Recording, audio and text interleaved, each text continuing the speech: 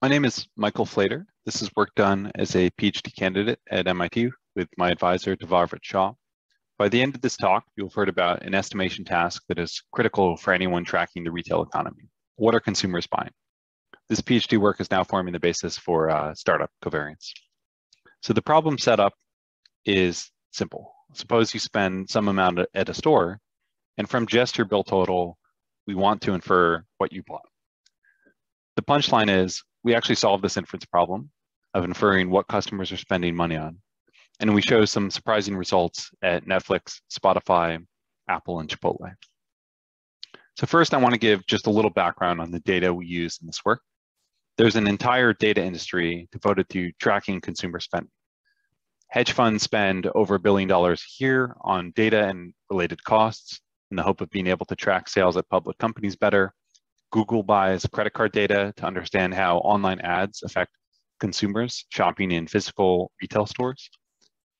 The category of alternative data includes any alternative to direct disclosures from companies.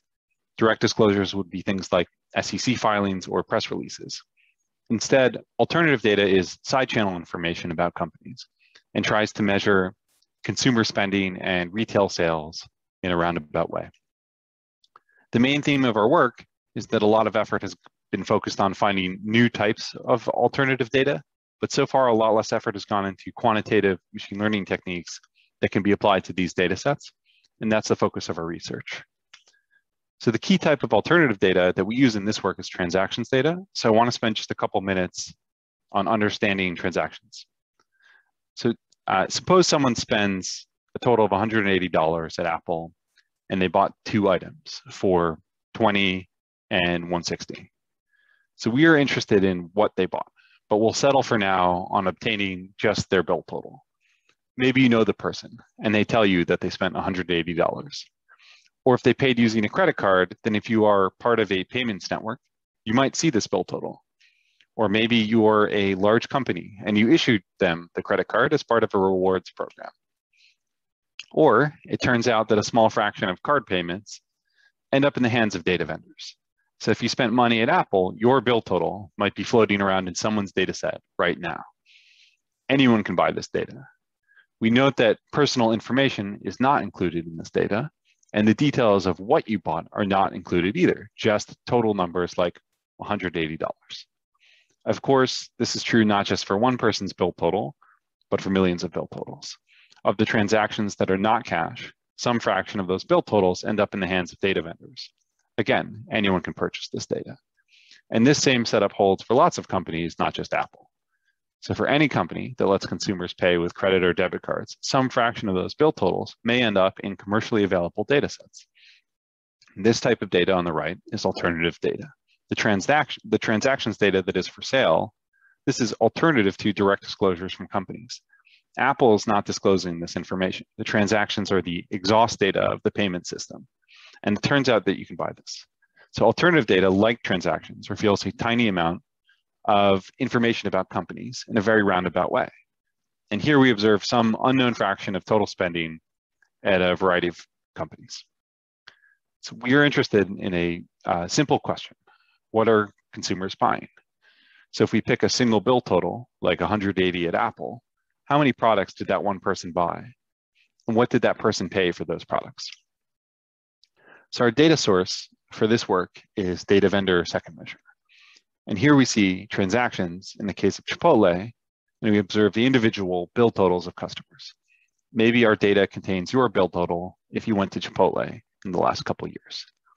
Then the question is, is it possible to tell what you bought, not just how much money you spent in total? That is, could we infer which products are selling? The key inference task is to take a vector of bill totals on the left and automatically infer product prices on the right. So we would like to know if 947 is the purchase of a single item, and if you spent 1628, that means you likely bought three different products, and if so, we want to know their prices.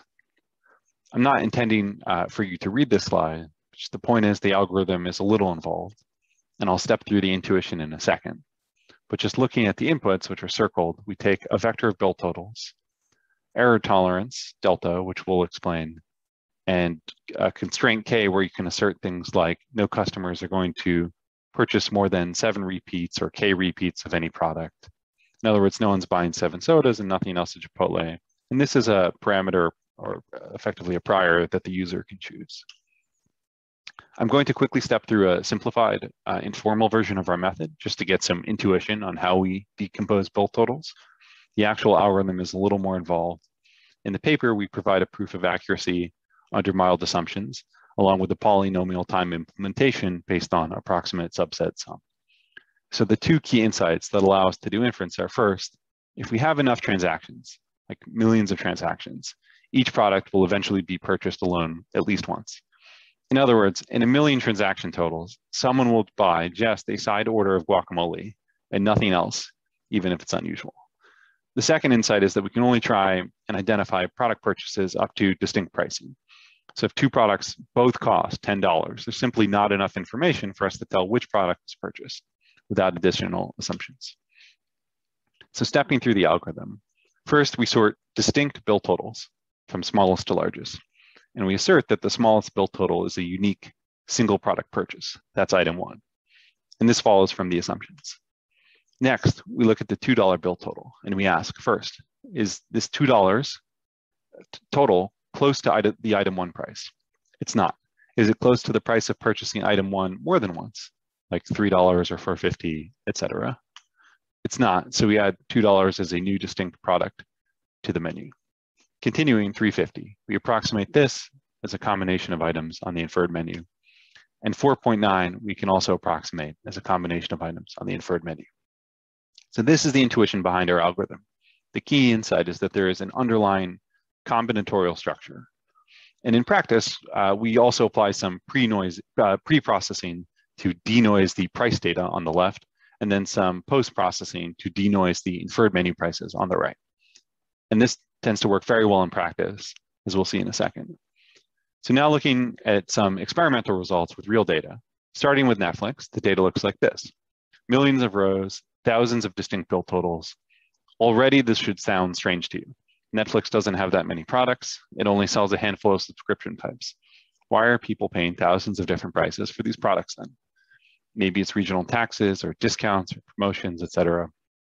The main question is, can we, re, can we recover Netflix's product catalog from just a vector of bill totals?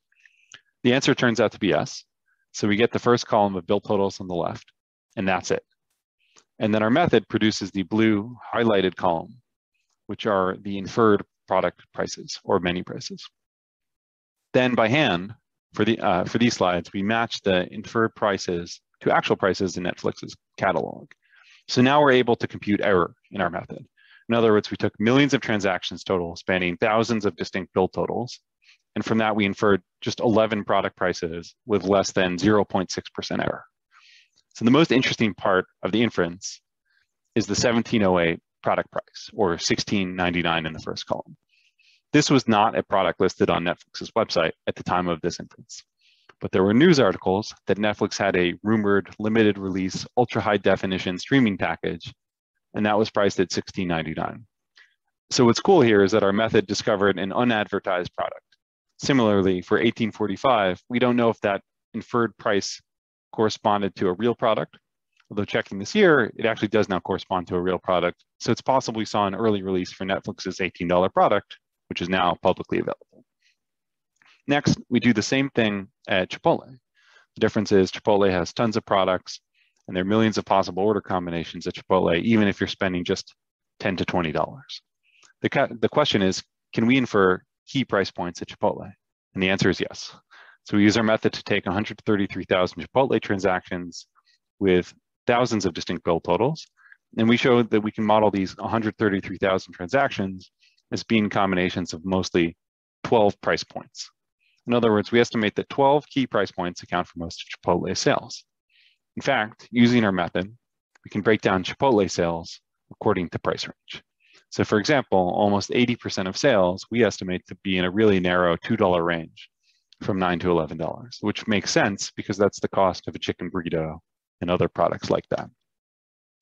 So our contributions here are first, a novel inference, method along with a proof of accuracy under mild assumptions.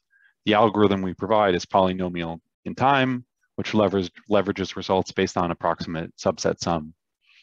Uh, next, experimental results. We completely recover the price catalog of Netflix, finding unadvertised hidden products. And at Spotify and Apple, uh, we can detect product launches automatically, detecting new price points or the launch of products at existing price points. For example, seeing surges in buying at existing price points. And we're able to decompose uh, bill totals into un underlying products with very low error.